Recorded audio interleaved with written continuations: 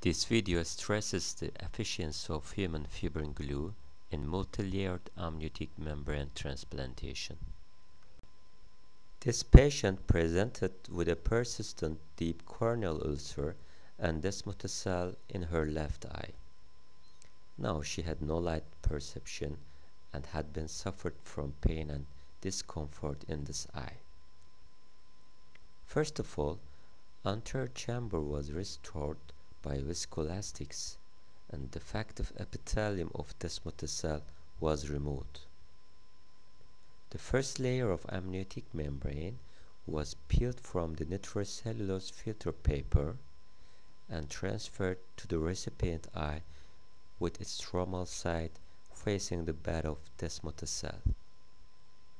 And the edge of this amniotic membrane was anchored with human fibrin glue.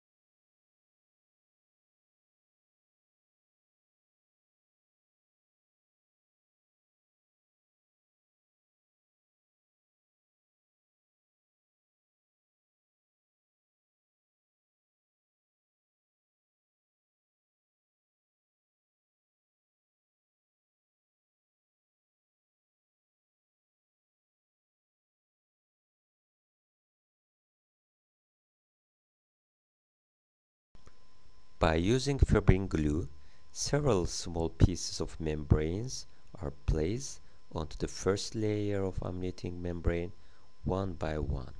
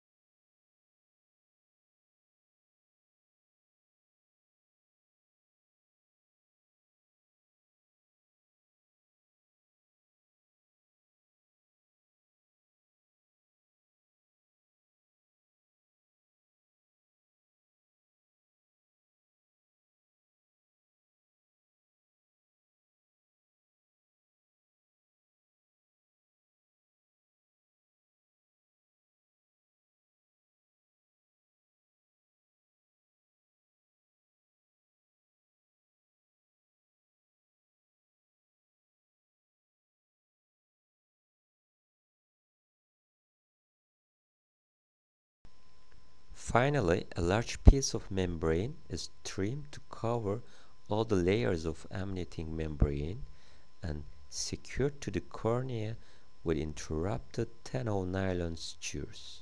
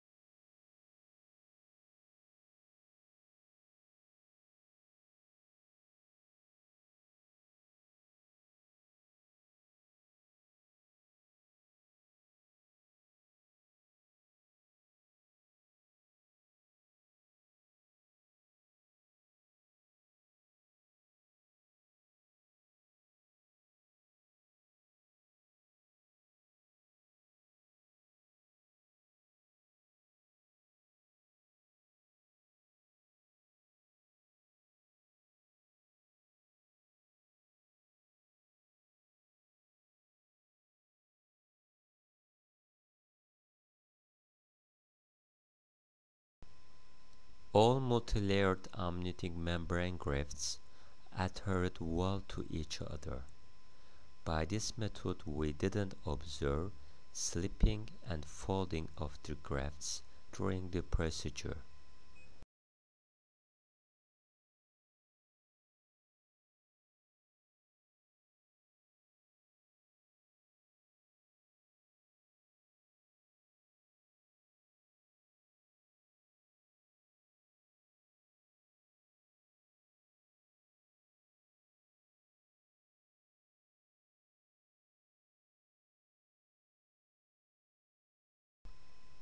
Thank you for your attention.